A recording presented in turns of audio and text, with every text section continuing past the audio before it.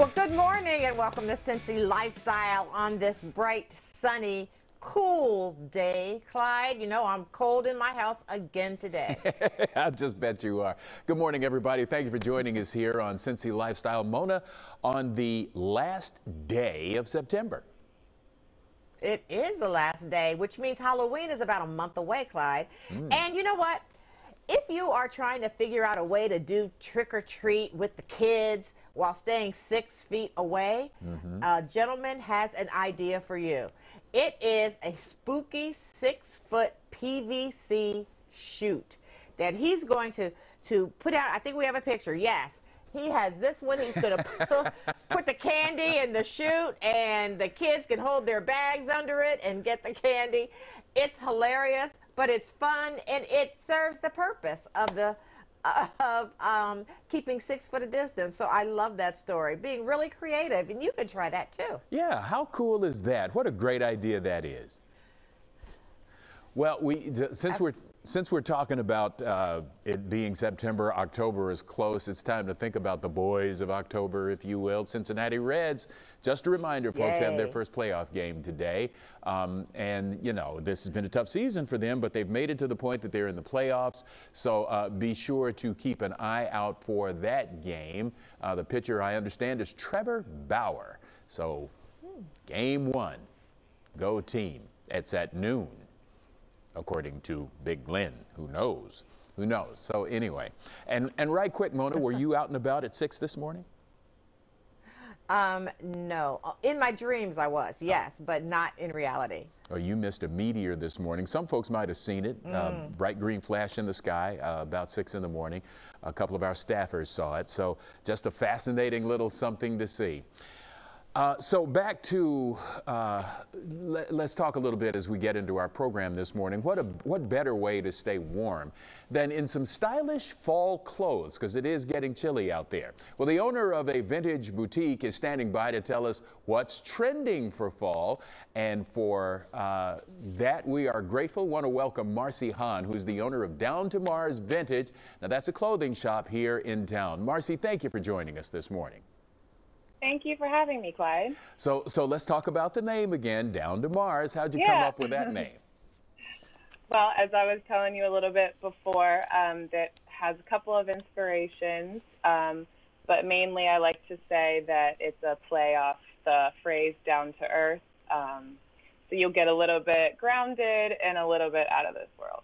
Okay, all right. Well, then let's talk about what's grounded and what's out of this world that's really popular right now.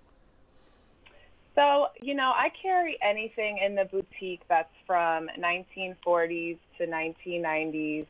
Um, you can find a wide array of stuff in here, but right now a lot of people are looking for plaids, um, lacy stuff. The 90s stuff is really cool right now. Okay, so uh, as everybody knows, of course, we're in a situation where we need to be socially distant uh, and where we uh, need to be masked, that sort of thing. So, how do folks get to your boutique to come in and check out stuff? What do they need to do? Make an appointment, perhaps? So, I was operating by appointment these past couple months, but as of tomorrow, I am reopening um, without appointments. So I'll be open Wednesday through Saturday um, from 12 to 6. But we require everyone to wear a mask in store. We have hand sanitizer stations throughout. We ask that any clothes that you try on, we then put aside in order mm. to be steamed and properly cared for for the next customer. So, what are you finding uh, people are most interested in when they come into your store now? Is there a period of time they're most interested in or a style of dress? So a lot of people really dig that retro look. They like the 70s and the the 90s for sure. So I carry a lot of stuff in my boutique that's colorful, patterned, um, anything that's going to make you stand out and kind of give you a little spice to your wardrobe.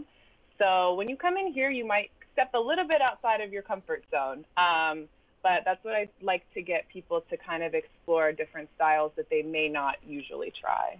So you say the 70s and 90s. How, what do you think it is about those uh, two periods of time that are so interesting to uh, to your customers? You know, I really feel like history repeats itself a lot. um, in multiple ways. And I really feel like right now, whether in movies, literature, you see a lot of 70s references. Um, even, you know, music, you're kind of hearing a little bit more funk and stuff. So I really do feel like all those outward factors kind of subliminally influence, you know, how people are dressing. Okay, all right, that makes sense. That makes sense. So, Yeah. uh, right quick, before we get away from you, let's make sure people know how to connect with you. Where are you located? What are your hours? And how can people connect uh, online, perhaps? So all social media handles are Down to Mars Vintage, all spelled out, um, Facebook and Instagram. Um, I'm located downtown in the Central Business District at 621 Main Street. And like I said before, hours are Wednesday to Saturday from 12 to 6. Okay. Well, Marcy, thanks so much for talking to us this morning. Thank you for having me. I hope you have a good day. You too. Mona? Well, it is possible to fall in love with a piece of artwork. And you can see that I fall in love with many if you're looking behind me. But um, bro- twin brothers Jeff and John Winkle are two local artists combining their skills on one canvas. With that in mind, and Allie made a visit to their studio to learn how they could bring meaning to your walls. You can get rid of the pillow. You can get rid of the pillow if you need to. Just throw it. Just throw it, seriously. There you go, perfect. Well, now that we've made ourselves at home, it's time to talk about how to make your space a home, especially when it comes to the artwork on your walls. And Jeff and John of Jeff and John Winkle Studio are twin brothers who are no strangers to the matter. They both have a passion for art and design. Jeff, the graphic designer, and John, the painter. Together, they combine their skills to create meaningful, staple pieces of art for your space. Explain your style of paintings. What is your style? Oh, it's a mix between contemporary, representational, graphic. We, we love the mix of kind of small town grit with uh, beauty um, or with like the aesthetics of something that's beautiful against like the backdrop of something that's concrete. I've been trying to call it abstract hybrid because it's got a mix of uh, abstract with representational. So there's a hybrid mix of it. Um, so You cropped it that much. Yeah, I just cropped it because we wanted to do a vertical Right. piece. So typically, who are the types of people that are um, looking into purchasing your pieces? They want work that means something, or they want a piece that means something. It's not just Uh, decoration. yeah. Like the, I think people will, will hopefully come to us. I'm not trying to interrupt. No, please do. Something that's not just you know not just decoration, not just going to match, but it's going to have a little bit more uh, deeper meaning uh, for them or into it. Meaning So and feel and it's more than just pretty. That's one of the things that we say a lot. Or it's more than just pretty. So Jeff, if we can stick this up on What advice can you give someone who is developing a space to make it their own, especially when it comes to wall art?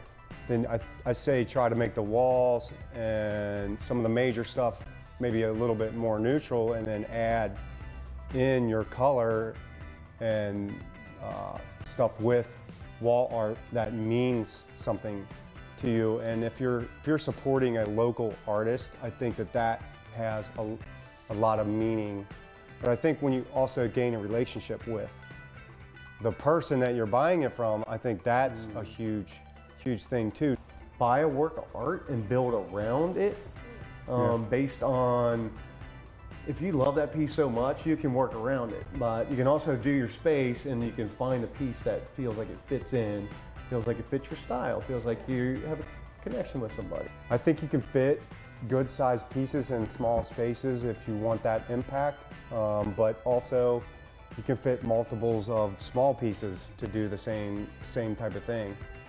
For sure. Well, Jeff, John, thank you so much. And thank you, Allie.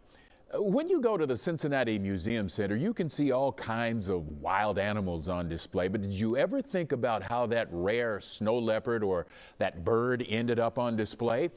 We went behind the scenes with a taxidermist to find out more about his passion for preserving plants and animals for future generations to see. Take a look.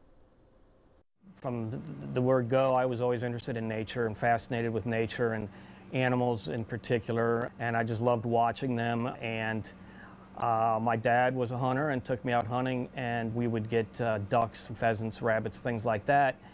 And I just wanted to preserve them for their beauty and the texture. I loved the fur, the feathers, the colors, the textures. And so I just learned taxidermy in order to, to preserve these things and try to bring them back to life or just kind of give them life again. And um, to mount up, say, a bobcat like that, it probably would be um, five to six hours of work um, to do it right. Um, and then, of course, depending on the base, like this base was homemade. If you had created a base with habitat, that adds more time onto it. Taxidermy or preservation of, of animals for display purposes, exhibit purposes, your kind of your, your main goals are accuracy, aesthetics, and just the quality that to make it look as alive as possible. Um, with preservation for research purposes, your uh, major concerns are data about the animal. There's a lot. There's a, uh, a big program here to do study skins of birds, where birds are preserved uh, that are, are roadkills, hit windows, things like that that people bring in or people find. It's important to get all the information and data about that animal, where it was found, when the bird is skinned, um, or the animal uh, measurements are taken, tissue samples are taken, uh, weights are taken. There's a lot of things that are, are recorded about that animal before it is actually preserved. And then it is preserved in such a way that it saves space so that you can put a num large number of these specimens on, in a drawer on a tray and slide it because there's hundreds, if not thousands, of specimens that need to be kept. And information is all put on a tag and then kept with the specimen. So you don't want it to necessarily look lifelike, but you want it to, um, the information about it. And in the future, if they want tissue samples, feather samples, measurements off, the, off certain parts of the body, they'll be preserved for that. I've always viewed it as kind of a preservation of the beauty of animals in a artistic way and in a flattering way.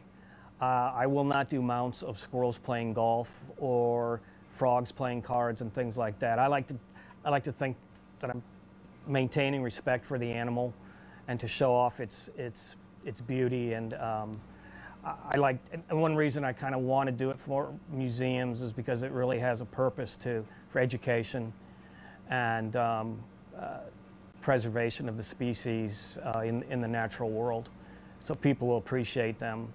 And if people can't see them in zoos or out in nature, uh, they can at least see a, a mounted example of it and appreciate it. Wow. Coming up on Cincy Lifestyle, keeping you and your loved ones safe. We'll talk with a company making face masks that are not only effective, but also comfortable.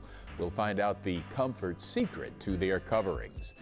Plus, winter is coming or as they said on the show, winter's coming. We'll speak with Jaco Waterproofing about the importance of sealing the cracks and crevices in your foundation and outside walls before bad weather hits. Got all that and a whole lot more coming your way in just a few minutes.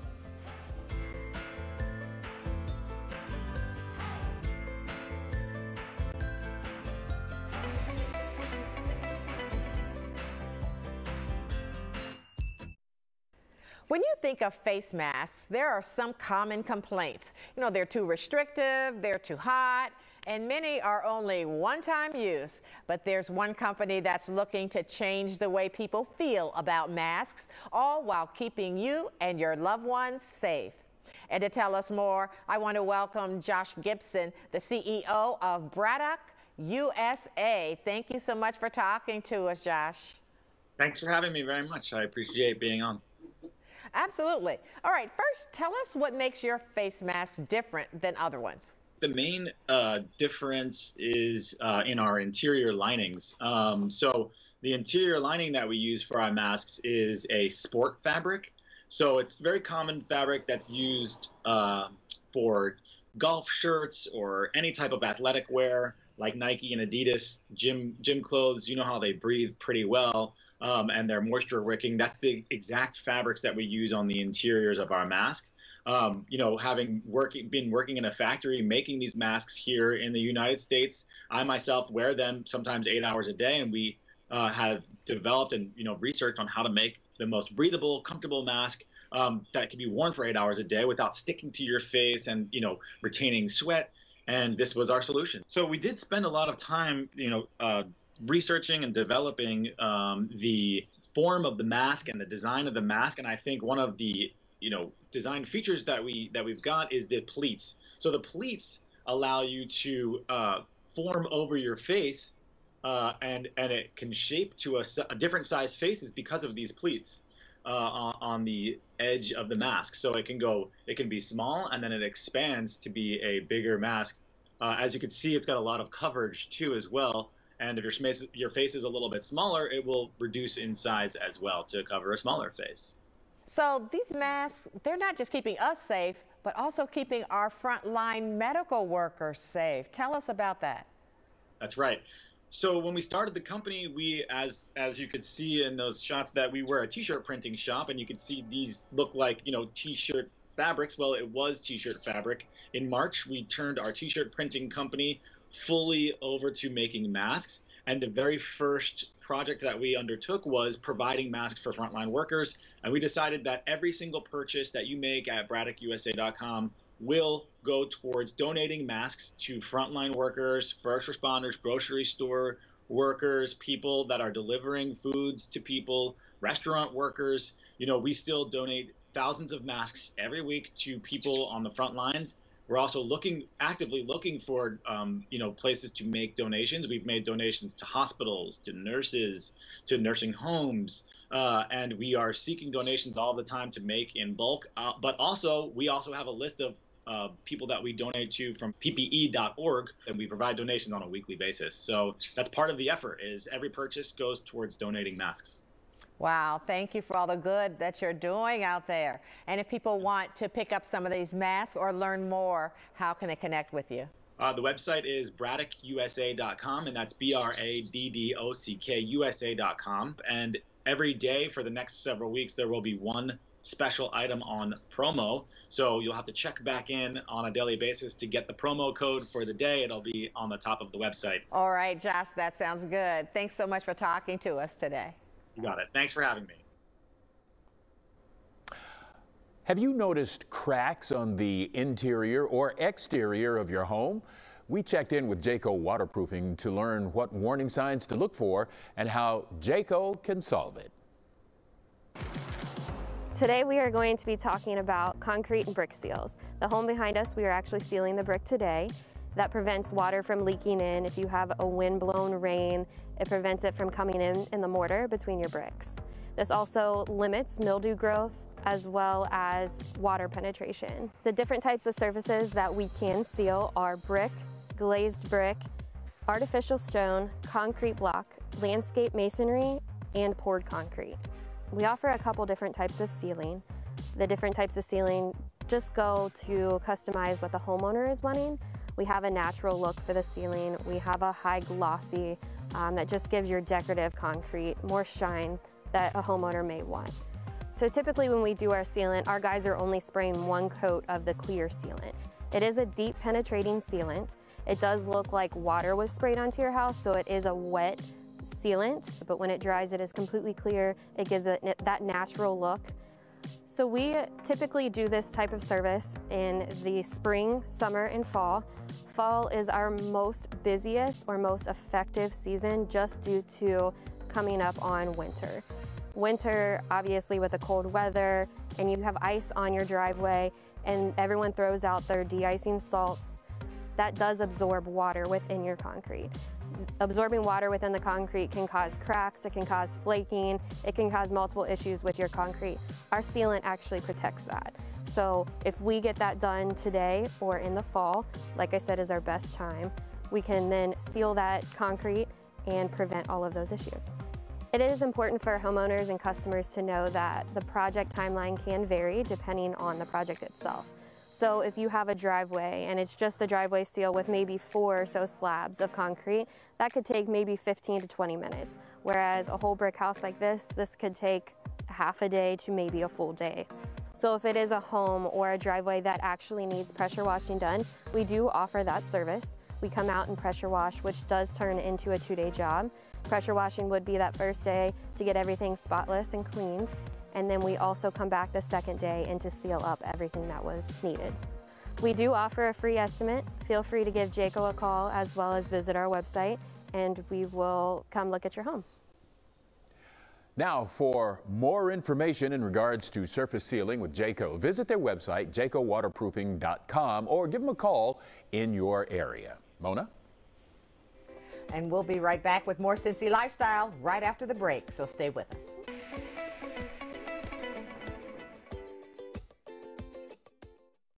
Well, welcome back. And coming up tomorrow here on Cincy Lifestyle, the Davis Cookie Company. Mm, and we mm, love yum. them. Yeah, they're opening up their first brick and mortar store. And we'll talk to the owner about why now is the right time. And she'll also tell us about some of the delicious cookies that you can enjoy. Can't wait for that. We also embrace the need for speed and take a trip back to Eastern Corvettes. We'll tell you the story behind some of these classics and why they are building a mini Corvette. Vroom. All that and so much more happening tomorrow, Mona, right here on Cincy Lifestyle. And I am a vet fanatic. So thank you so much for checking us out. Uh, be sure to visit us on our social media platforms. Give us a holler if you can. Whatever you do, though, get out there today and make it a great day. Thanks for watching our video. If you liked what you saw, hit that subscribe button. You can also check out full episodes of the show you've never seen before or watch your favorites again and again. And as always, make it a great day.